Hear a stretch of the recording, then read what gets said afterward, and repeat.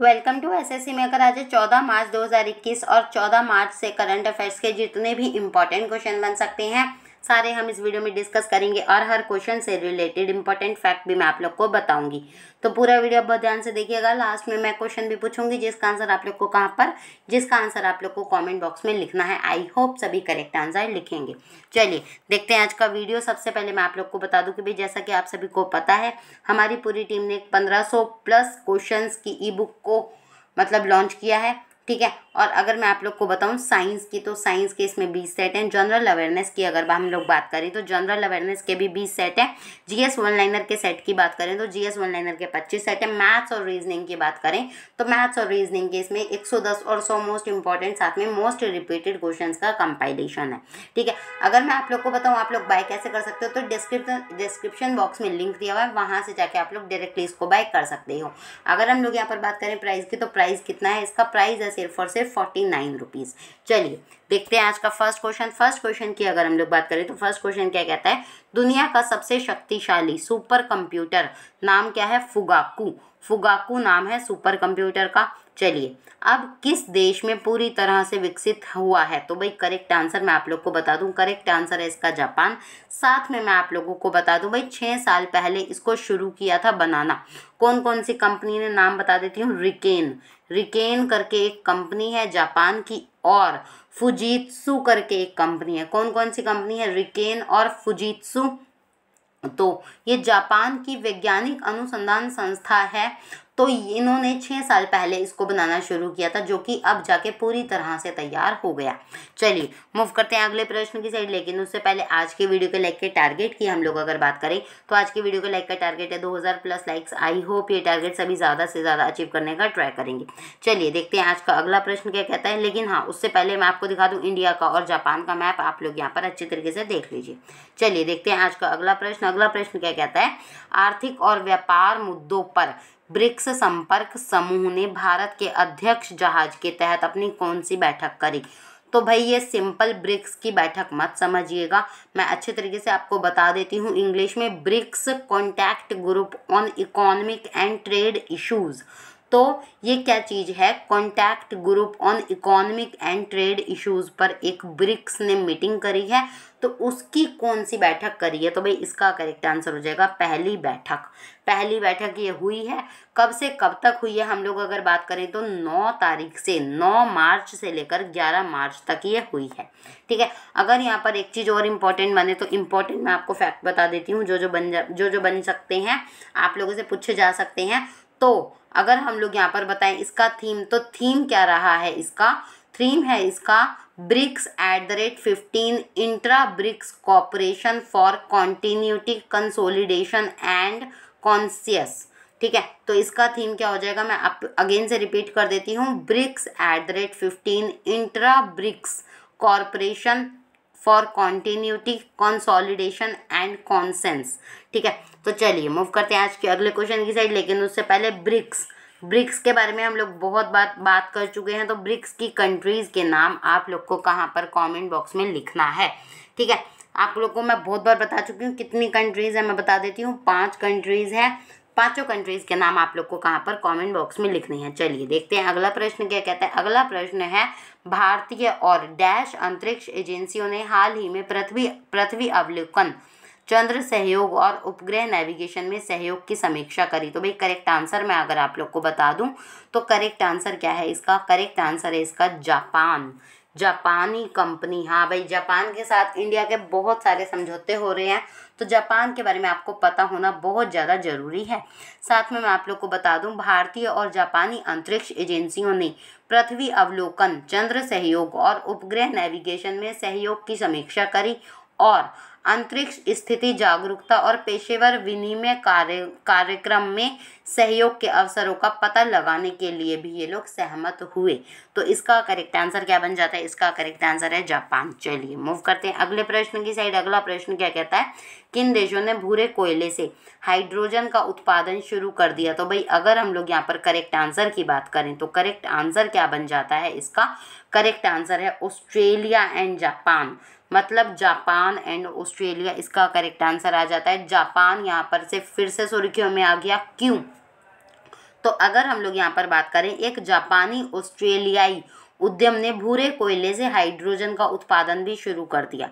ठीक है, जापान और ऑस्ट्रेलिया ने 500 मिलियन डॉलर के पायलट प्रोजेक्ट पर सहयोग किया, साथ में जिसका उद्देश्य यह दिखाना है कि भैया तरलीकृत हाइड्रोजन का व्यवसायिक रूप से उत्पादन किया जा सकता है और इसे विदेशों में सुरक्षित रूप से निर्यात भी किया जा सकता है। तो इसका करेक्ट आंसर क्या है? इसका करेक्ट आंसर है जापान एंड ऑस्ट्रेलिया। चलिए मूव करते हैं अगले प्रश्न की साइड अगला प्रश्न क्या कहता है? अगले प्रश्न की अगर हम लोग यहाँ पर बात करें तो निम्न में से कौन सा राज्य इनर लाइन परमिट प्रणाली के अंतर्गत आता है? तो अगर मैं आप लोग को करेक्ट आंसर बताऊँ तो ये सब सही हैं। ये सारे आंसर सही हैं। साथ में मैं आप लोग को बताऊँ, उत्तराखंड सरकार ने हाल ही में केंद्रीय गृह मंत्री कौन है? अमित शाह जी हैं। उनके साथ में एक बैठक की है। वहाँ पर चमोली ज़िले की नीति घाटी और उत्तरकाशी ज़िले की नीलांग घाटी में इनर लाइन परमिट मतलब आईएलपी प्रणाली को बेहतर सीमा प्रबंधन और पर्यटन के विस्तार के लिए वापस लेने की मांग भी की थी। तो अगर हम लोग करेक्ट आंसर की बात करें तो करेक्ट आंसर अरुणाचल प्रदेश, नागालैंड, मिजोरम। चलिए मूव करते हैं अगले प्रश्न की साइड अगला प्रश्न क्या कहता है? अगला प्रश्न है, नीति आयोग ने कितने पीएसयू की पहली सूची प्रस्तुत की, जिसका केंद्र के निजीकरण, ड्राइव के तहत निजीकरण किया जाएगा। तो भाई करेक्ट आंसर मैं आप लोग को बता दूँ। तो करेक्ट आंसर क्या है? इसका करेक्ट आंसर है बारह। बारह इसका करेक्ट आंसर है। साथ में मैं आप लोग को बता दूँ, नीति आयोग द्वारा प्रस्तुत सूची में रणनीतिक क्षेत्रों में पी शामिल होते हैं, ये आपको पता होना चाहिए, ठीक है? और अब इस सूची की समीक्षा, निवेश और सार्वजनिक संपत्ति प्रबंधन विभाग। और core group of secretaries on divestment CGD जिसे कहते हैं, उसके द्वारा किया जाएगा, जिसकी अध्यक्षता कैबिनेट सचिव करेंगे। तो इसका करेक्ट आंसर क्या है? इसका करेक्ट आंसर है बारह। चलिए देखते हैं अगला प्रश्न क्या कहता है?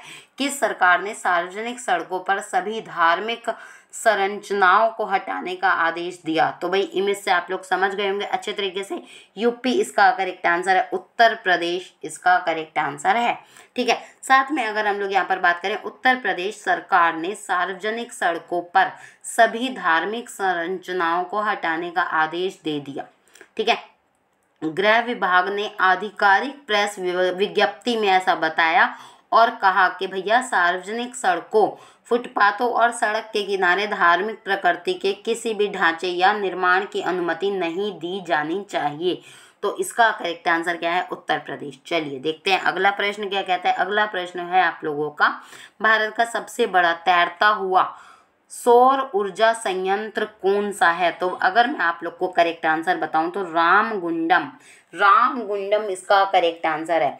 ठीक है? अगर मैं यहाँ पर आप लोग को बताऊँ, ये सुर्खियों में क्यों है? तो भाई, अगर मैं आप लोग को बताऊँ, राष्ट्रीय ताप विद्युत निगम से संबंधित 100 मेगावाट क्षमता का भारत का सबसे बड़ा तैरता हुआ सौर ऊर्जा संयंत्र इस साल मई में रामागुंडम में चालू होने की उम्मीद जताई जा रही है।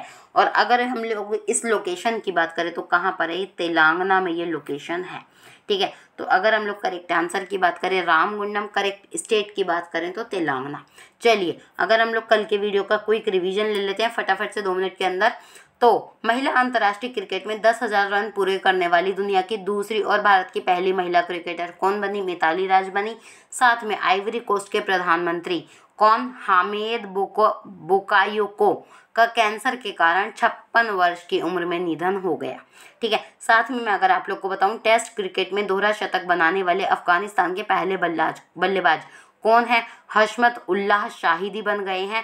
सऊदी अरब ने खराब मिलावटी सामान बेचने और फर्जी ऑफ़र देने को लेकर एक चीनी वेबसाइटों को बंद कर दिया।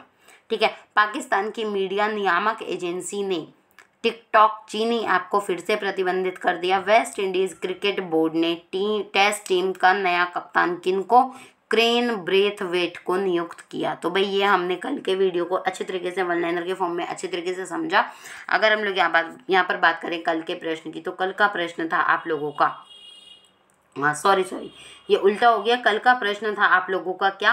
किस राज्य को भूमि रिकॉर्ड डिजिटलीकरण में शीर्ष स्थान दिया गया? तो भाई करेक्ट आंसर क्या है इसका? आप लोगों का करेक्ट आंसर है मध्य प्रदेश। बहुत सारे बच्चों ने करेक्ट आंसर लिखा था।